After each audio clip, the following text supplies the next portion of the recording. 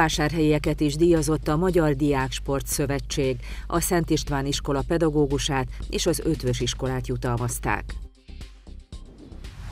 Jól érzik magukat a mezei nyulak a februári tavaszban, az enyhe időjárás miatt rengeteg a rákcsáló a földeken.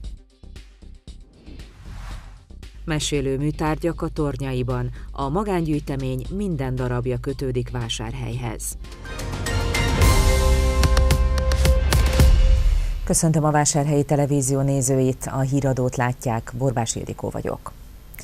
A Csongrád Csanád Vármegyei Diáksport Egyesület idén is jutalmazta a kiemelkedő sporttevékenységet végző pedagógusokat és iskolákat. A díjakat minden tanévben Diáksport Bizottságonként egy pedagógusnak ítélik oda, valamint a 3-3 legaktívabb általános és középiskolát is jutalmazzák. Ezúttal a Hódmezővásárhelyi Szakképzési Centrum Ötvös József Technikuma, valamint a Szent István általános iskola testnevelő tanára Szöginé Kotormán Zsuzsanna kapott elismerő oklevelet. A Szegedi Szent Györgyi Albert Agórában adták át a Megyei Diáksport Egyesület díjait, ahol három általános és három középiskolát jutalmaztak. A Hódmezővásárhelyi Szakképzési Centrum Ötvös József Technikumban úgy értékelik, hogy hosszú évek munkája ért most be. Iskolánk vármegyei szinten második helyezést ért el középiskolás kategóriában, és ez is megmutatja azt, hogy a második legaktívabb iskola vagyunk sporttevékenységek terén, hiszen számos versenyszámban sikerült neveznünk itt a Magyar Diáksport Szövetségnél, és bízva várjuk, hogy nyolcadikosok jelentkeznek a képzésekre, a sportágazatra is. Az ötvösben arra ösztönzik a gyerekeket, hogy minél több sportágban próbálják ki magukat. Tulajdonképpen az összes labdajátékot fel tudnám sorolni, a kosárlabda, a kézilabda, a röplabda, illetve a futszál bajnokság, ahol neveztük a gyerekeket. Emellett még lövészetben is indultunk, illetve fekvenyomó versenyen, úgyhogy nagyon sok sportágban jelen vagyunk. A sportosztályba járó diákok továbbra is garantálják, hogy az élsport egyik fő utánpótlásbázisa az ötvös. A Hódmezővásárhelyi Szent István általános iskolában is igen pesgő sportélet zajlik, ami nagyban köszönhető Szöginé Kotormán Zsuzsannának, aki kiemelkedő sporttevékenységért szintén kitüntetést vehetett át az ünnepségen. Kedvezett az időjárás a nyúlszaporulatnak az utóbbi hónapokban, így rengeteg rákcsálót láthatunk a mezőkön és szántókon. Ennek örülnek a vadászok, ám a mezőgazdasági vállalkozók már kevésbé lelkesek. A szakember szerint azonban meg lehet óvni a haszonnövényeket a nyúlinvázió káros hatásaitól anélkül is, hogy befognák ezeket a rákcsálókat. Vidáman futkorászó nyulak a vásárhelyi határban. Ilyen és hasonló jeleneteket bárki láthat, ha a város határain túljár. Tavaly még a nyúl populáció összeomlásáról beszéltek a szakemberek, idén azonban a kedvező időjárásnak köszönhetően már a túlszaporodás van terítéken. A tapsifüleseknek a gyerekek biztosan örülnek, de a mezőgazdasági vállalkozók már nem ilyen lelkesek.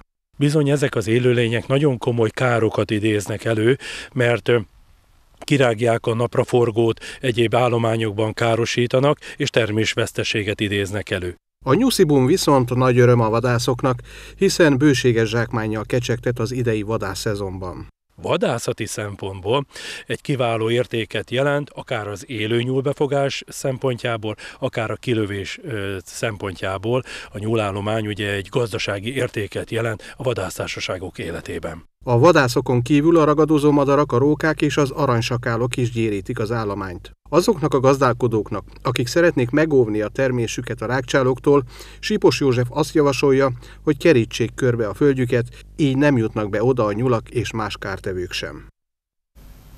A teraszokról vagy a házak udvaráról is érdemes lesz kémlelni az eget és megkeresni a holdat, mellette a fiastyúkot.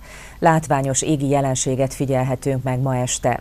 A hétközeli csillagból álló fiastyúk, amihez további 500 halványabb társ is tartozik, és a hold együttállása nyújt majd különleges látványt a téli égbolton, amit akár szabad szemmel is észlelhetnek a vásárhelyek, hívta fel a figyelmet a páratlan látványra Barna Barnabás csillagász. Ma este folyamán a holdunk megközelíti a plejádok névre hallgató csillaghalmazt. Nek plejádoknak sok neve van magyarul, ismert akár fiastyúk, hét néven is, és ez azért különleges, vagy azért ennyire ismert, a köztudatban, mert hogy szabad szemmel is látható. Gyakorlatilag két szabad szemmel látható objektum kerül egymáshoz nagyon közel az égbolton, és ez egész Magyarországról gyakorlatilag az egész északi, föld északi féltekéről látható lesz. Hogyha pedig valakinek van esetleg kisebb távcsöve, vadásztávcsöve, binokulárja, akkor 10 óra magasságában azt fogja látni, hogy a hold fölött a távcsőben nézve rengeteg kékes színű csillag fog sorakozni. Ezt érdemes fényszennyezéstől kicsit elzárt zugból, kert sarkából is megfigyelni. A legkülönbözőbb maskarát öltötték magukra a Kankalin Néptánc Együttes ovis és kisiskolás csoportjaiba járó gyermekek, hogy közösen ünnepeljék meg a farsangot.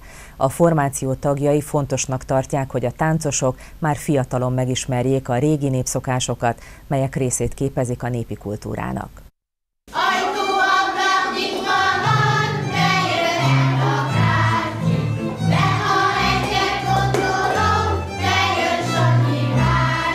A munkás hétköznapokba vitt szint régen a farsang.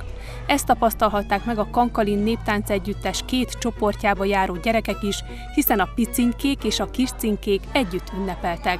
Erre az alkalomra annyian gyűltek össze, hogy alig fértek be a székházba. Minden ilyen nagyobb ünnepet megünneplünk közösen, sőt a, a különféle jeles napokra is koncentrálunk, tehát nyilván kisebb szabású, de például a Luca napról is volt szó, új, újévi szokások is voltak, disznótoros népszokások, mindenféle éppen aktuális népszokásokat előveszünk a, a próbák idején, de az ilyen nagyobb eseményeket, mint például a farsang, a karácsony, a húsvét, azokat így együtt szoktuk ünnepelni, és akkor általában a zenekar is itt van, sokat színesít a programon. A kicsik legnagyobb örömére a farsang jó alkalmat teremt az átalakulásra, így egy délután mindenki más bűrébe bújhatott. Volt, aki bohóc jelmezt öltött magára. Van rajtam egy ilyen kantár, szoknya, és ilyen cipő, ami ilyen rajtos. És miért pont bohóc lettél? Nem tudom, most azt, azt tetszett meg nekem, mert a farsanghoz illik a bohóc. A tánc szeretete és a kialakult barátságok összetartó közösséget kovácsoltak a legifjabb kankalinosok körében is. Nagyon jó, nagyon jó. Hú, és ajánlom, akik nem járnak ide, hogy járjanak ide. Az édesség, a fánk sem hiányozhatott a farsangról, ahogyan ilyenkor a közös kézműveskedés is nagyon népszerű. Végül a programra a koronát a bűvész látogatása tette fel. Vásárhelyi finomságok, kézzel készített ékszerek, használati tárgyak és népművészet. Verőfényes napsütésben telt a februári cimet kézműves vásárhódmezővásárhelyen. Az almáskert ugyanis ismét fogadta a helyi és a környék kézműves sportékáit kínáló árusokat. Választék akad bőven, így nagy volt a jövésmenés délután a BFMK mellett. Tessék kóstolni valami finomságot. Helyi termelők tartósítószer és színezékmentes portékái közül válogathattak pénteken a vásárlók a címet kézműves piacon. Ezek a legfárok, szörpők és krémek egy héja halmi családi gazdaságban készülnek. A termelő elmondása szerint kizárólag vegyszermentes és érett növényeket dolgoznak fel. Az vagy ugye, amit eszel, tehát nagyon fontos az egészségünknek, ugye a legfontosabb a táplálék, a valóságos étel, ami ezek valóban mondhatjuk, hogy tápérték, magas tápértékben tiszta élelmiszerek, amiket mi termelünk, és ez ugye mindenkinek ez nagyon is fontos, hogy ugye semmiféle más adalékanyagot, kémiai anyagokat ne tartalmazzon, mert nincs is rá szükségünk. Ugye az ugye térfogat növelő, meg, meg tartósítószerhez, és miért jó helyitől vásárolni? Hát pont azért, hogy ugye a szállítás, nincs szállítás, nincs megnövekedett költség rajta, és ugye ez is nagyon fontos, hogy egy érett gyümölcsöt, zöldséget nem lehet szállítani. Aki éhesen érkezett a kézműves piacra, ezek közül a házi készítésű sütemények közül is válogathatott. Volt perec és baráthüle, valamint mákos kocka, de még igazi vásárhelyi túrós lepény is. Tényleg az igazi hát, a sós, még rá, sós túrós lepény, de régen az én nagyszüleim a sós kapros lepényt is nagyon szerették, illetve azt tudom, hogy volt, aki utána mégis cukrozta.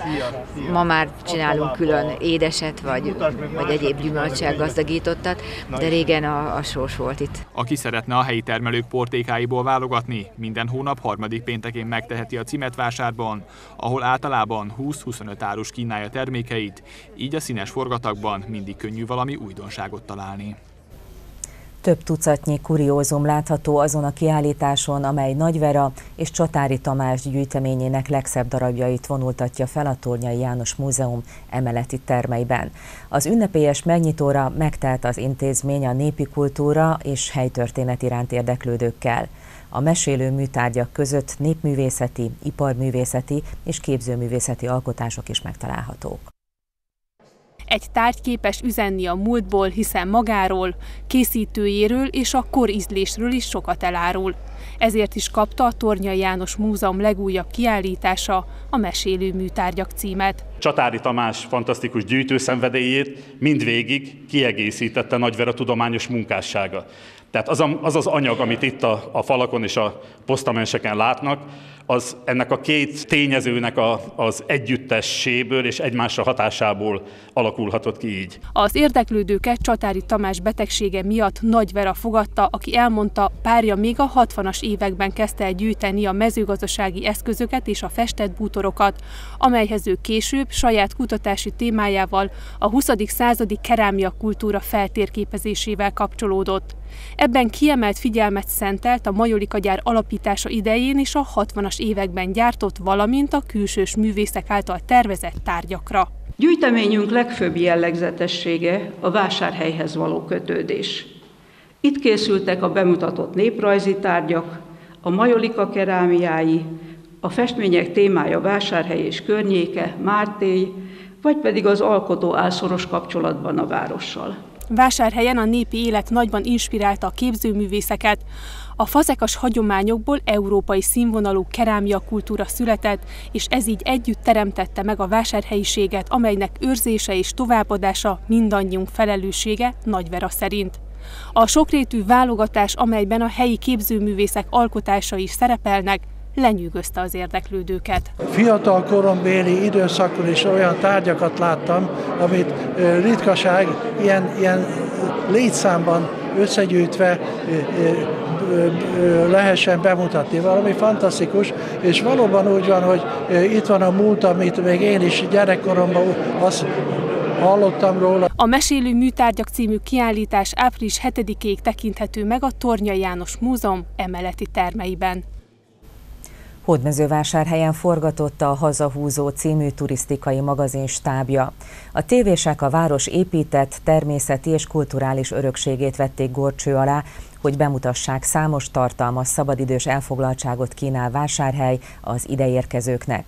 De olyan szándékuk is volt, hogy a helyiek a megszokottra csodálkozzanak majd rá, amikor megtekintik az itt készült összeállítást. Jó napot kívánok! Jó napot kívánok! A Hazahúzó című turisztikai magazin stábja Rozsi Marianna szerkesztő műsorvezetővel szombat délelőtt a tájházat is felkereste. A tévések három napot töltöttek a városban és környékén, hogy megörökítsék a helyi értékeket. Mindenképpen az épített örökséget, szép házakat, a hagyományokat, ugye azért vagyunk itt, tehát a látnivalókat, a kiránduló helyeket, Mártéban is voltunk már, voltunk a kőfal melletti tanúsvényen, tehát sok mindent, sok színes dolgot, hogy, hogy a, a nézők minél összetettebb képet kapjanak a városról, hogyha ide jönnek, akkor, akkor sok mindent tudnak itt csinálni, sok mindent meg tudnak nézni. A belváros szívében található egykori gazdaporta 1974 óta áll műemlékvédelem alatt, ma már múzeumi kiállítóhelyként működik, helyet biztosítva ezzel az év jeles napjaihoz és ünnepeihez kapcsolódó rendezvényeknek. Avatta be a stábot Sonko Ágnes a tájház történetébe, amely a szakember szerint kihagyhatatlan minden ideérkező vendég számára. Interaktív módon tudjuk bemutatni a múltunkat és nagyon fontos az is, hogy a városnak a különböző nemzetközi kapcsolatai, testvérvárosi delegációit tudjuk itt fogadni, akiket szintén el tudunk kápráztatni, nem csak az itteni millióvel, hanem igyekszünk ilyenkor mindig valami kis helyi specialitással is színesíteni az ő vendéglátásukat, tehát ez a tájház valóban mindenre alkalmas, hiszen ilyen gyönyörű, autentikus környezetbe bármit is csinálunk, az nagy népszerűségnek örvend. Ebben a környezetben ismerkedett meg a műsorvezető a méltán híres vásárhelyi hímzéssel is. Különlegességét és öltés technikáját Fodor Györgyi, a hímző műhely munkatársa mutatta meg. Rozsi Marianna életében először járt hódmezővásárhelyen, és elmondása szerint lenyűgözték a látottak. Hallottam, hogy szép város, de hogy ennyire, tehát ott a, a Városháza előtti rész, ott végig nagyon szép épületek vannak. Tegnap este sétálgattam egy kicsit, és szépen ki vannak világítva az épületek. Ez hát meglepő, hát na mindegy, nem, nem gondoltam volna, hogy ennyire szép, és hogy az emberek nagyon kedvesek, nagyon segítőek, bármikor megálltam, hogy hol van ez, hol azonnal nagyon kedvesek a vásárhelyiek. A hazahúzó hódmezővásárhelyről szóló műsorát az érdeklődők és a helyiek várhatóan március elején láthatják majd az ATV-n. A hétvége is bővelkedik programokban, többek között szombaton délelőtt fánkmustra, majd lovaskutyás télbúcsúztató, délután jótékonysági táncgála, vasárnap pedig farsangi koncert lesz a művelődési központban. A Vásárhelyi Televízió híradóját látták, most jön az időjárás előrejelzés, majd a Kultikon következik Vasramónával. Megmutatjuk azt a kiállítást, amit Tornyai születésének 155. évfordulójára időzítettek a Damjanics János Múzeumban Szolnokon. A Színekben rejlő hatalmas erő című tárlat a két intézmény együttműködésével valósult meg. Majd a tornyai legújabb tájfestők, avagy így festünk mit című kamara kiállítására is benézünk, ahol ezúttal a képzőművészet az irodalommal találkozik. Kedves nézőink, híradóval pedig hétfőn 17 óra 30 perckor várjuk Önöket legközelebb. Köszönöm egészeti figyelmüket, viszontlátásra!